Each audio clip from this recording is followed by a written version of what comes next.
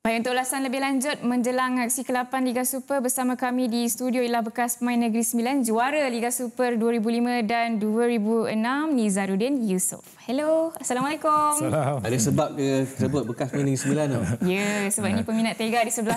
Sebab awak di sebelah. Ah. Okey, baik. Kita nak teruskan uh, kepada perbincangan kita. Macam uh, Choi Moon Sik tadi, memang dah sah berpisah dengan Kelantan. Macam hmm. kes Truka, dia ada potensi untuk kembali bersama dengan pasukan. Mungkin komen Niza sendiri. Uh, saya tidak lihatlah potensi nak kembali itu ada lah saya hmm. rasa. Sebab oh. memang daripada dulu lagi rasanya sebelum-sebelum ni kalau direhatkan tu akan direhatkan terus. Hmm. Uh, jadi rasanya uh, mungkin ada caretaker, coach uh, uh, penolong jurulatih akan ambil. And then uh, saya rasa kalau performa pasukan meningkat, saya rasa coach tu akan terus sampai hujung tahun. Lah. Yeah. Okey Niza, direhatkan ataupun tak uh, direhatkanlah eh. Mm-hmm. Baru tujuh game. Okey. Tak menang, mm-hmm. menang satu game. Mm-hmm. Apakah itu satu keputusan yang terburu-buru ataupun hanya memang patutlah dia kena rehat? Uh, kita Liga Super ni memang kita setiap pasukan nakkan uh, instant result. Uh, keputusan yang cepat. Jadi rasanya tujuh game tu untuk dia direhatkan tu saya rasa dengan performan uh, pasukan saya rasa uh, quite uh, fair fair lah rasanya hmm. sebab uh, kita kita jarang tahu ada certain pasukan yang macam JDT lah contoh sign sampai 3 tahun 4 tahun 2 tahun contoh kan uh, even jurulatih pun jadi rasanya uh, direhatkan tu saya rasa kena dengan keadaan pasukan yang saya rasa tidak berapa baguslah pasukan uh, Kelantan United punya punya uh, prestasi hmm. according to yeah. prestasi memang sepatutnya direhatkan yeah, betul, okay. betul. Um, Niza mungkin ada lagi jurulatih uh, susulan jurulatih yang akan mengalami hmm. situasi yang sama Betul. seperti jurulatih-jurulatih ini ha. Uh, Perak? Uh, boleh jadi, boleh jadi dengan uh, cara dia uh, berkomunikasi dengan uh, kita uh, wartawan bahagian ini. Jadi rasanya uh, dia mungkin uh, hot hotspot lah. Ya.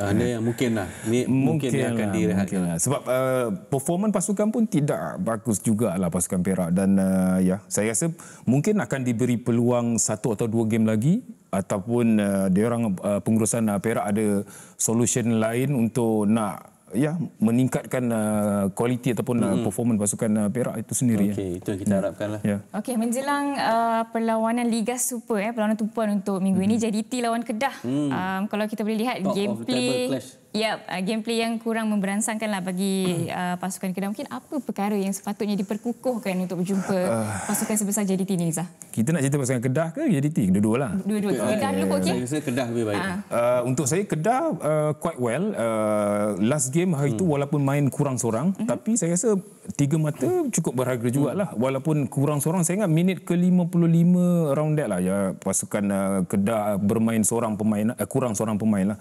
Jadi rasanya uh, saya harap performan ataupun motivation itu akan dibawa untuk lawan JDT lah. Saya berharap lah kerana ya kita semua tahu pasukan uh, JDT dalam uh, kedudukan yang sangat-sangat selesa lah. Mm-hmm. Dengan uh, 30 gol, bolos baru satu and then mm-hmm. tujuh main, tujuh menang.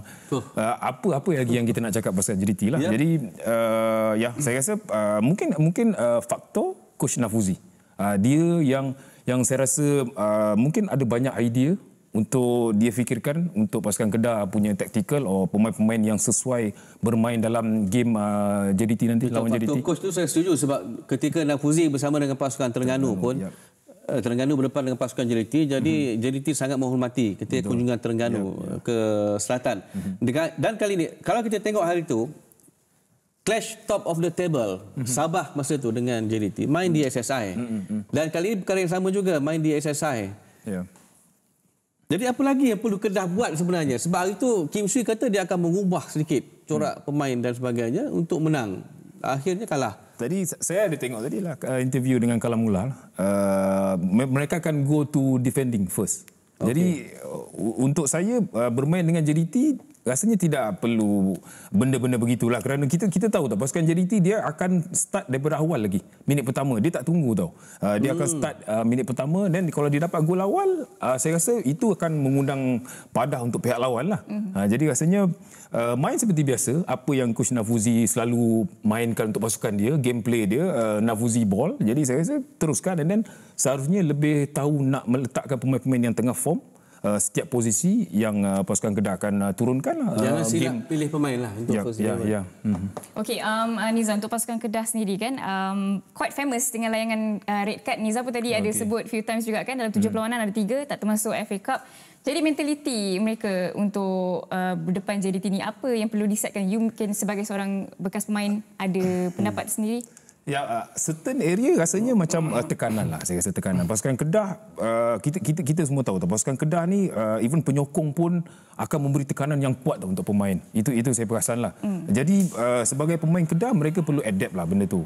Uh, kalau tidak dapat mengawal emosi apabila bermain, uh, itulah itulah pada hadir. Sebab kalau every game ada kurang seorang, kurang seorang, saya rasa akan mengganggu jugalah rentak permainan pasukan itu sendiri. Jadi Uh, saya rasa pemain-pemain perlu lebih sedar yang yang uh, bebanan mereka itu cukup besar. Hmm. Uh, especially bermain untuk pasukan Kedah. Uh, dan uh, jurulatih juga jurulatih baru yang baru dinobatkan sebagai jurulatih terbaik tempatan tahun lepas. Hmm. Jadi rasanya uh, ya perlu aware lah lagi-lagi lawan uh, JDT pasukan yang cukup uh, matang, cukup bijak semua semua sekali. Okey. Apakah pasukan JDT akan tetap menurunkan barisan terbaik mereka untuk menang? Sebab kita tahu Uh, sama ada pemain utama atau pemain kedua mereka sama je levelnya kuat. Betul, betul. Saya tak tahu ada jawapan ke macam kita nak kalahkan JDT. Ada jawapan? Uh, Ataupun uh, JDT memang kuat. Bola macam mana ada ada hari itu kita ada bincang tu dengan uh, Mak Yo dengan uh, Razman last hari itulah JDT Lompera. Uh, saya rasa saya setuju juga lah apa yang Mak Yo cakap lah even walaupun kita tahu JDT dalam kedudukan yang yang terbaik jadi pasukan yang datang tu seharusnya tidak tidak memikirkan okey kita lawan JDT uh, dah quite uh, ke belakang. And then uh, patutnya lebih awal tau satu hari sebelum game mereka berfikir okey kita lawan JDT kita, kita kena bagi yang terbaik. Memang kena bagi yang terbaik sebab kalau bermain even bagus pun memang sukar juga nak menang dengan JDT I, itu memang kita kena akui.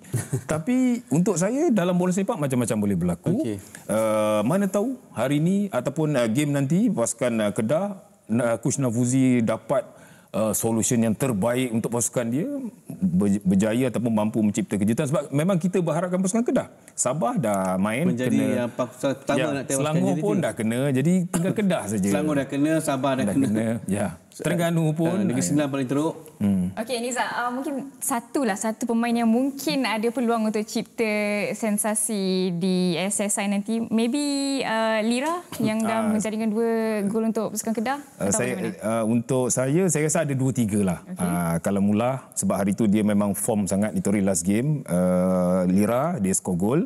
Uh, and then Hidalgo. Jadi saya berharap pemain-pemain ini akan menjadi key untuk game lawan JDT itu saja. Ya. yeah.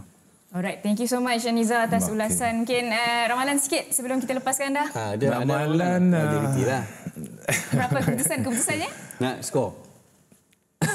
saya, saya dah tahu dah. Dia fikir tu. Saya tak sebut jadi tim tak lah. Tak berani lah nak borang. Tapi saya rasa... Sengit lah.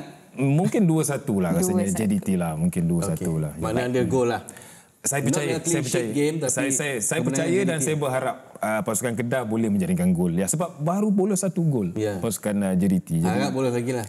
Harap-harap lah. Baik terima kasih Hiza thank you. Thank you. Terima kasih